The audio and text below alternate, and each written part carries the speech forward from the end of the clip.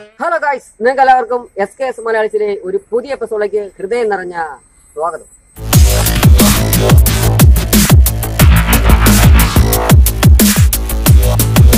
ഇന്നത്തെ നമ്മുടെ വീഡിയോ എന്താന്ന് വെച്ചാൽ പനയഞ്ചേരി ശ്രീ ധർമ്മശാസ്ത്ര ക്ഷേത്രവും അവിടുത്തെ ഐതിഹ്യത്തെ പറ്റിയൊക്കെ ഉള്ളതാണ്. അപ്പൊ നമുക്ക് വീഡിയോയിലോട്ട് പോവാം. ഉത്സവത്തിന് രാവിലെ ഞങ്ങൾ എല്ലാവരും കൂടി രാവിലെ നമ്മൾ അമ്പലത്തിലോട്ട് പോവുകയാണ് മുൻവശമാണ് ഫ്രണ്ട് ഭാഗം. ഇതുവഴിയാണ് പിന്നെ ഞങ്ങൾ ക്ഷേത്രത്തിലോട്ട് കയറി പോകുന്നത്. ഞങ്ങളുടെ പല വീഡിയോക്കകത്തും ഈ ഭാഗം നമ്മൾ കാണിച്ചിട്ടുണ്ട്. കാണിച്ചിട്ടുണ്ട്. ഇത് ഇതുവഴിയാണ് കയറി പോണത്. അപ്പൊ നമ്മുടെ പനയഞ്ചേരിയിലെ ക്ഷേത്രത്തിലെ മേൽശാന്തി നമ്മുടെ അടുത്തുണ്ട്. അപ്പം മേൽശാന്തിയുടെ അടുത്ത് തന്നെ നമുക്ക് ഇവിടുത്തെ ഐതിഹ്യത്തെ പറ്റിയും കാര്യങ്ങളൊക്കെ നമുക്ക് ചോദിക്കാം. സ്വാമി ശരണയ്യപ്പ എന്റെ പേര് ഷിബു നാരായണൻ. എന്റെ ഞാൻ വെട്ടിക്കവല എന്ന ദേശത്താണ് താമസിക്കുന്നത്. ഞാൻ ഇതിന് മുമ്പായിട്ട് ആര്യങ്കാവ് കൊടുത്തപ്പുഴ മുതലായ ക്ഷേത്രങ്ങളിലും ഭഗവാനെ പൂജിക്കുന്നതിനുള്ള ഒരു ഭാഗ്യം എനിക്ക് ലഭിച്ചിട്ടുണ്ട്. ഇത് പനയഞ്ചേരി ശ്രീ ധർമ്മശാസ്ത്ര ക്ഷേത്രം. കൊട്ടാരക്കര തമ്പുരാന്റെ കാലഘട്ടത്തിൽ കൊട്ടാരക്കര തമ്പുരാൻ തന്നെ തമ്പുരാനാൽ സ്ഥാപിതമായ ഒരു മഹാക്ഷേത്രമാണ്. പനഞ്ചേരി ശ്രീ ധർമ്മശാസ്ത്ര ക്ഷേത്രം കൊട്ടാരക്കര തമ്പുരാൻ അദ്ദേഹത്തിന്റെ കാലഘട്ടത്തിൽ പണി കഴിപ്പിച്ച് അദ്ദേഹത്തിന്റെ ദേവാരമൂർത്തികളായിട്ട് പട്ടണത്തിൽ പൂജിച്ചുകൊണ്ടിരുന്ന ശ്രീ ധർമ്മശാസ്താവിന്റെയും മഹാഗണപതിയുടെയും ശിവ ഭഗവാന്റെയും ഒക്കെ വിഗ്രഹങ്ങൾ ഈ പനയഞ്ചേരി എന്ന സ്ഥലത്ത് കൊണ്ടുവന്ന് ക്ഷേത്രം പണിഞ്ഞു വെച്ച് പൂജിച്ചു പോരുന്ന ഒരു പുണ്യസങ്കേതമാണ് ഈ ക്ഷേത്രം. അദ്ദേഹം കൊട്ടാരക്കര തമ്പുരാൻ ആര്യങ്കാവ് ഭഗവാന്റെ ഒരു വലിയ ഭക്തനായിരുന്നു എന്നും അദ്ദേഹത്തിന്റെ അവസാന കാലഘട്ടങ്ങളിൽ ആര്യങ്കാവിലോട്ട് പോകുവാൻ ഉള്ള ബുദ്ധിമുട്ടുകൾ ഉണ്ടായിരുന്നതുകൊണ്ട് കുറച്ചും കൂടെ അടുത്ത സ്ഥലമായിട്ടുള്ള ബ്രാഹ്മണ ഭൂമിയും ബ്രാഹ്മണ കുടുംബങ്ങളും ഒക്കെ ഒരുപാടുണ്ടായിരുന്ന ഈ പനയഞ്ചേരി എന്ന സ്ഥലത്ത് നല്ല സ്ഥലമാണെന്നും അവിടെ ഒരു ക്ഷേത്രം പണിഞ്ഞ് അദ്ദേഹത്തിന്റെ ദേവാലയത്തിൽ പ്രതിഷ്ഠിച്ചു കഴിഞ്ഞാൽ ഈ നാടിനും സർവിധമായ ഐശ്വര്യങ്ങൾ ഉണ്ടാകുമെന്നും അദ്ദേഹത്തിന് വന്ന് തൊഴുന്നതിനും മറ്റും കുറച്ചും കൂടെ സൗകര്യപ്രദമാകും എന്നതുകൊണ്ടും ആണ് ഈ പനയഞ്ചേരി എന്ന സ്ഥലത്ത് ഈ ക്ഷേത്രം സ്ഥാപിച്ച് അദ്ദേഹത്തിന്റെ ദേവാലയമൂർത്തികളെ ഇവിടെ പ്രതിഷ്ഠിച്ചിരിക്കുന്നത്. അത് ഈ പറഞ്ഞതുപോലെ തന്നെ ഈ ക്ഷേത്രം വന്നതോടുകൂടി ഈ നാട് തന്നെ വളരെ അഭിവൃദ്ധിപ്പെട്ടിട്ടുണ്ട്. ഇവിടെ മെയിനായിട്ടും ശനിദോഷങ്ങൾ ഏത് രീതിയിലുള്ള ശനിദോഷമാണെങ്കിലും കണ്ടകശനിയാണെങ്കിലും ഏഴരശനിയാണെങ്കിലും അഷ്ടമശനിയാണെങ്കിലും ജന്മശനിയാണെങ്കിലും ഇവിടെ വന്ന് നീരാഞ്ജനം നടത്തി കഴിഞ്ഞാൽ അതിന് വളരെ മാറ്റം ആൾക്കാരിൽ ഉണ്ടാകുന്നുണ്ട്. ശനിദോഷത്തിന് ഭയങ്കരമായിട്ടുള്ള പരിഹാരം ഈ ക്ഷേത്രത്തിൽ നീരാഞ്ജനം നടത്തിയിട്ടുണ്ടാകുമെന്ന് ഒരുപാട് ജനങ്ങൾ ഇവിടെ വന്ന് സാക്ഷ്യപ്പെടുത്തിയിട്ടുണ്ട്. അതുപോലെ നീരാഞ്ജനവും ഇവിടെ വളരെ അധികം നടക്കുന്ന ഒരു സ്ഥലമാണ്.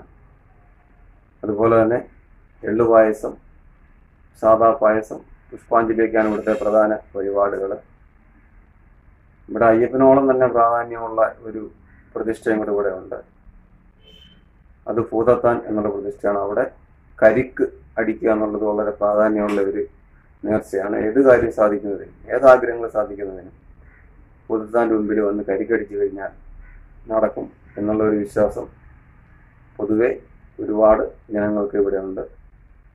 പിന്നെ ഇവിടുത്തെ പ്രതിഷ്ഠയെക്കുറിച്ച് പറയുകയാണെങ്കിൽ ദേവാലമൂർത്തികളെ ഇവിടെ പ്രതിഷ്ഠിച്ചിരിക്കുന്നതിനാൽ ഇവിടെ ശരപ്രതിഷ്ഠയാണ്. ശരപ്രതിഷ്ഠയാണ് ഇവിടെ ഉള്ളത്. അതായത് അഷ്ടമന്ത വിട്ട് പ്രതിഷ്ഠിച്ചിട്ടില്ല. ഈ വിഗ്രഹം എടുത്ത് അങ്ങോട്ടും ഇങ്ങോട്ടും വെച്ച് മാറ്റാവുന്ന രീതിയിലുള്ള ചരപ്രതിഷ്ഠയാണ് ഗണപതി ഭഗവാനും ശിവനും ധർമ്മശാസ്ത്രവും എല്ലാം ചരപ്രതിഷ്ഠയിലാണ് ഇവിടെ ഇരിക്കുന്നത്. അമ്പലം ആര്യങ്കാവും കുളത്തൂപ്പുഴയും അച്ചൻകോവിലും വളരെ ബന്ധപ്പെട്ട് കിടക്കുന്ന ഒരു ക്ഷേത്രമാണ്. ഈ അച്ചൻകോവിൽ ആര്യങ്കാവ് കുളത്തൂപ്പുഴ തുടങ്ങിയ ക്ഷേത്രങ്ങളിലുള്ള പോലെ തന്നെ പൂതത്താൻ അല്ലെങ്കിൽ ഇണ്ടളിയപ്പൻ മുതലായിട്ടുള്ള പ്രതിഷ്ഠകൾ ആ ക്ഷേത്രങ്ങളിലുമുണ്ട് അതേ പ്രതിഷ്ഠ തന്നെയാണ് ഇവിടെ പുതത്താൻ എന്ന് പേരിൽ വളരെ ശക്തിമത്തായിട്ടാണ് ഇവിടെ പുതത്താനും കുടികൊള്ളുന്നത്. കൂടാതെ ഭദ്രാദേവിയുടെ പ്രതിഷ്ഠയും നാഗരികാവും ഒക്കെ ക്ഷേത്രത്തോടനുബന്ധിച്ചുണ്ട്. കൊളുത്തുപ്പുഴയിലെ പോലെ തന്നെ തിരുമക്കളെ കൊളുത്തുപ്പുഴയിൽ കല്ലടാരിൽ തിരുമക്കളെ നമ്മൾ മീനൂട്ടും മറ്റും നടത്തി സംരക്ഷിക്കുമ്പോൾ ഇവിടെ വലിയ ചിറയുണ്ട്. ചിറ ചിറയിൽ കുളത്തൂപ്പുഴയിലെ പോലെ തന്നെ തിരുമക്കളെ സംരക്ഷിക്കുകയും മീനൂട്ടെന്ന വഴിപാടൊക്കെ നടക്കുകയും ചെയ്യുന്നുണ്ട്. ഇതുപോലെ ഇവിടെ തിരുനാൾപ്പര എന്ന് പറയുന്ന ഒരു സംവിധാനം ഇവിടെ ഉണ്ട്. അതായത് ഉത്രം തിരുനാൾ മഹോത്സവമാണ് ഇവിടുത്തെ ഉത്സവം എന്ന് പറയുന്നത്. മകരമാസത്തിൽ ഉത്തര നക്ഷത്രത്തിലാണ് ഇവിടുത്തെ ഉത്സവം. ഉത്രം തിരുനാളാണ് മഹോത്സവം എങ്കിലും അറിയപ്പെടുന്നത് അഞ്ചൽ തിരുനാൾ മഹോത്സവം എന്നാണ്. കാരണം അഞ്ചലെ ഏറ്റവും വലിയ ഉത്സവമായതുകൊണ്ട് തന്നെ അഞ്ചൽ തിരുനാൾ മഹോത്സവം എന്നാണ് അറിയപ്പെടുന്നത്. കൊടിയേറ്റ് ഉത്സവമാണ് ഇവിടെ നടന്നു വരുന്നത്. അപ്പോൾ പണ്ട് മഹാരാജാവ് കൊട്ടാരക്കര തമ്പുരാൻ ഈ ഉത്സവ കാര്യങ്ങളും മറ്റും നടത്തിപ്പിനും ഇവിടുത്തെ പ്രശ്നങ്ങളൊക്കെ പരിഹരിക്കുന്നതിനൊക്കെ വേണ്ടി വന്നിരുന്ന ഒരു തിരുനാൾപ്പുര ഇവിടെ സ്ഥിതി ചെയ്യുന്നുണ്ട്. അത് നമുക്ക് ഇത് ഇതിൽ കാണാവുന്നതാണ്. ഇപ്പോൾ ആ, കൊട്ടാരക്കര തമ്പുരാനും പ്രതിനിധികളും ആരും വരാത്തത് കൊണ്ട് തന്നെ ഇപ്പോൾ ഇവിടുത്തെ ഒരു പൗരപ്രമുഖനാണ് ആ ദിവസം. അവിടെ തിരുനാൾപ്പുരയിൽ വാളെഴുന്നള്ളിപ്പും മറ്റും നടത്തിക്കൊണ്ടിരിക്കുന്നത്.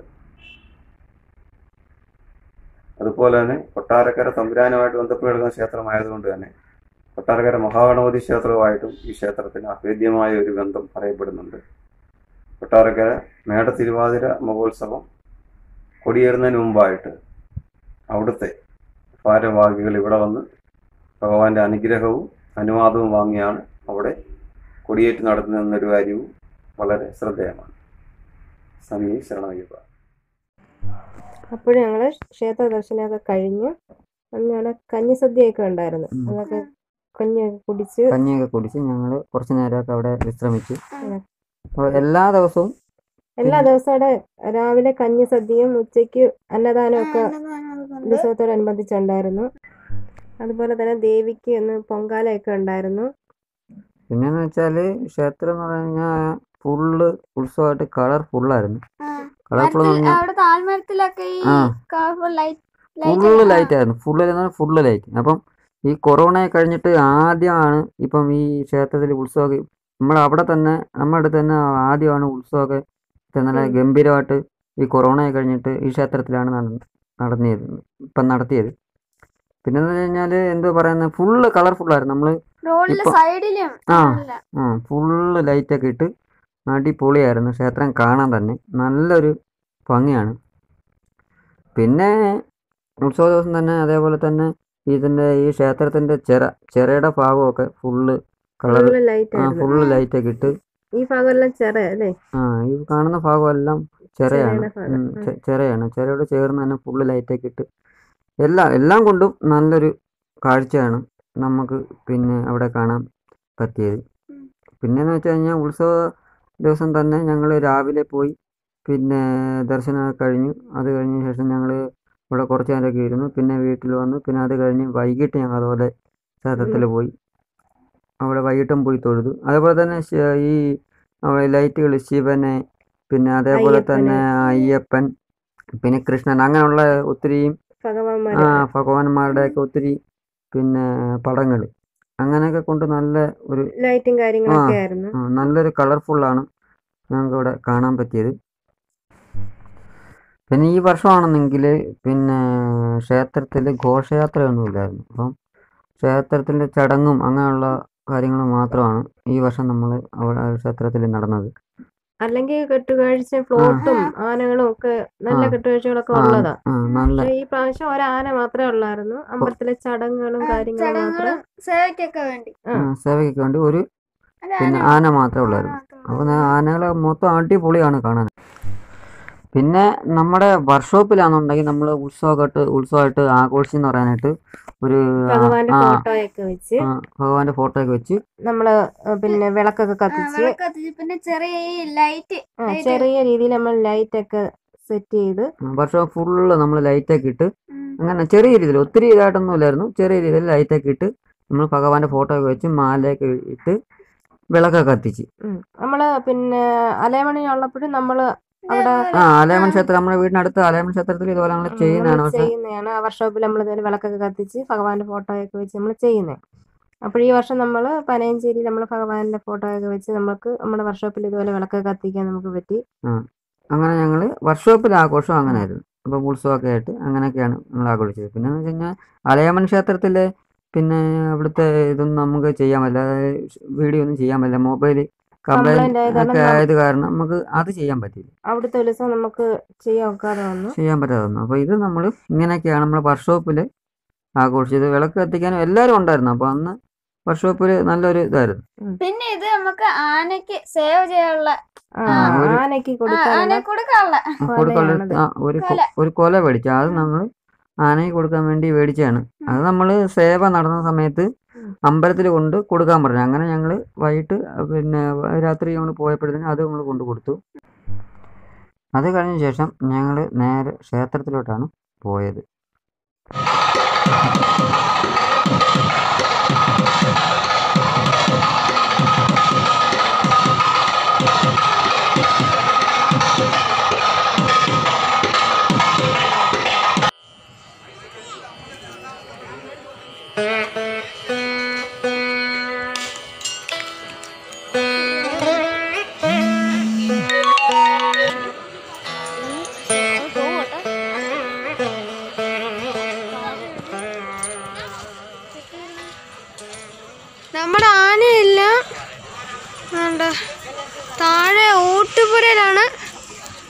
അങ്ങനെ റിസ്- വിശ്രമിക്കുന്നത് എന്താ സ്റ്റെപ്പ് വഴി ഇറങ്ങി പോവാ ആ എന്താ അനൗൺസ്മെന്റ് ഒന്ന് ശ്രീ ധർമ്മശാസ്ത്ര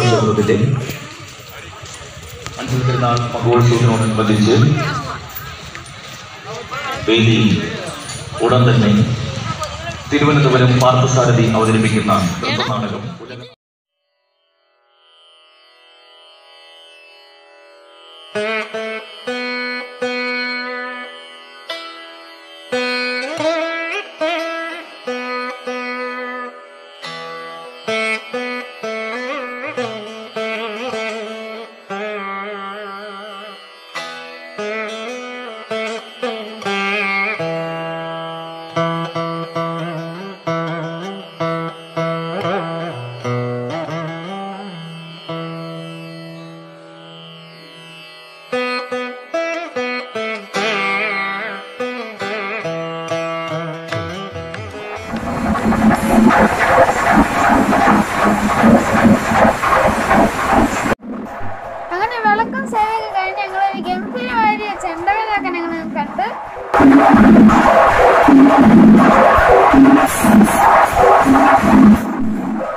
രക്ഷയില്ലായിരുന്നു കേട്ടോ. അടിപൊളി ചെണ്ടകളായിരുന്നു അങ്ങനെ ചെണ്ടമേളമൊക്കെ കഴിഞ്ഞിട്ട് രാത്രി എല്ലാ ദിവസവും നല്ല സൂപ്പർ സ്റ്റേജ് പ്രോഗ്രാം ഒക്കെ ഉണ്ടായിരുന്നു. അപ്പം അവിടെ ആണെന്നുണ്ടെങ്കിൽ നല്ല ഈ ക്ലബ്ബുകാരൊക്കെയാണ് ആ പല ക്ലബ്ബുകാരൊക്കെയാണ് സ്റ്റേജ് ദിവസം ഓരോ ക്ലബ്ബുകാരുടെ പരിപാടികളൊക്കെ. പരിപാടിയാണ്. ഒത്തിരിയും ക്ലബ്ബുകാർ ഒരു മൂന്നാൽ ക്ലബ് ക്ലബ്ബുകാരുണ്ട് കൈരളി പിന്നെ അതേപോലെ തന്നെ പുലരി പിന്നെ സഹൃദയ പിന്നെ അങ്ങനെ പിന്നെ കിഷോർ മെമ്മോറിയൽ അങ്ങനെ ഒത്തിരി ക്ലബ്ബുകാർ ഇവരൊക്കെ വകയായിട്ട് ഒത്തിരി സ്റ്റേജ് പ്രോഗ്രാം ഒക്കെ ഉണ്ടായിരുന്നു.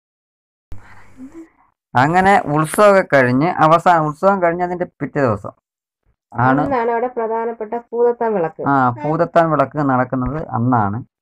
അപ്പോൾ അതോടുകൂടി അവിടെ ആ വിശേഷങ്ങളൊക്കെ അവസാനിക്കുകയാണ് ചെയ്യുന്നത്. സ്റ്റേജിലെ പല ആൾക്കാരും ഇങ്ങനെ വിളക്ക് ആ സ്റ്റേജിലെല്ലാം നമ്മൾ ഈ പിന്നെ വിളക്ക് ആ ചട്ടി വിളക്ക് ചട്ടി വിളക്കോടെ ഫുള്ള് വെച്ച് അതുപോലെ തന്നെ എല്ലാവരും കരിക്ക് കൊണ്ടുപോകും. അന്ന് ദിവസം അവിടെ ഉടയ്ക്കാനായിട്ട് കരിക്കൊക്കെ കൊണ്ടുപോയി. പൂജ കഴിഞ്ഞ് അവിടെ നമ്മൾ കരിക്കൊക്കെ ഉടയ്ക്കും. അത് തന്നെ നമുക്ക് പ്രസാദമായിട്ട് അവിടെ നമ്മൾ കരിക്കൊക്കെ നമുക്ക് കിട്ടും. അങ്ങനെ പിന്നെ ഈ ഫൂറ ഫൂറത്താൻ നടക്കൊക്കെ കഴിഞ്ഞിട്ട് ഒരു ഗംഭീര ഒരു കിട്ടിക്കാച്ചി വെടിക്കെട്ടാണ് പിന്നെ നടക്കുന്നത്. പിന്നെ പണ്ടൊക്കെ എനിക്ക് ഈ വെടിക്കെട്ടൊക്കെ ഭയങ്കര വേടിയായിരുന്നു അങ്ങനെ വെടിക്കെട്ടൊക്കെ കഴിഞ്ഞ് ഉത്സവം സമാപിച്ചു.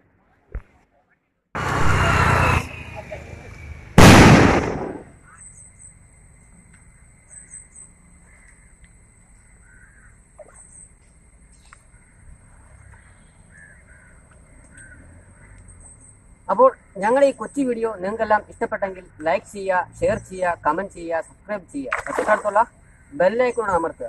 അടുത്തൊരു എപ്പിസോഡ് കാണുന്നവരെ നിങ്ങളെല്ലാവർക്കും ഗുഡ് ബൈ